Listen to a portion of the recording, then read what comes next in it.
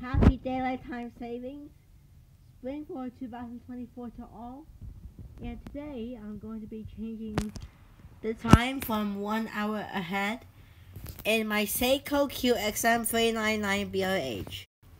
Anyways, let's get this over with. Alright, now let's see here. Okay, so I'm gonna try to turn the clock off, like turn this off so it doesn't play um, a tune as I change the time. And take um the advice here. Never go backwards when changing the time.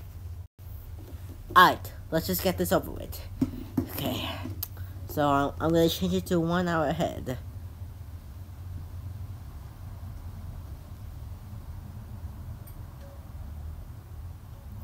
Okay, I got it. Alrighty, and now that I got the um time change in my clock, now to turn it back on. And I'm going to put it in section B this time.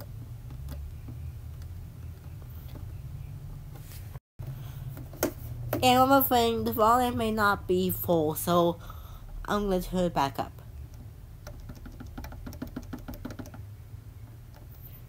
Alright, and now I'll give you a demo tune.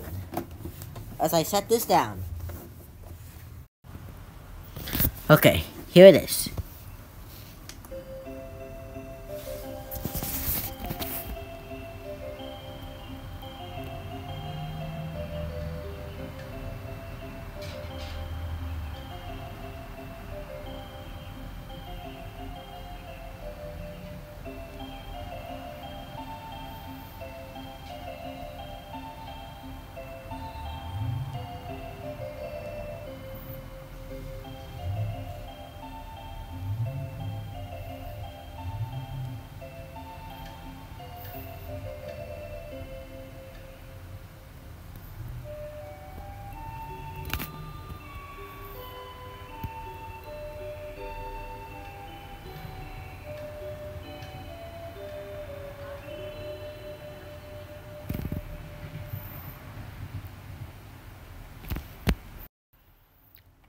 Alrighty.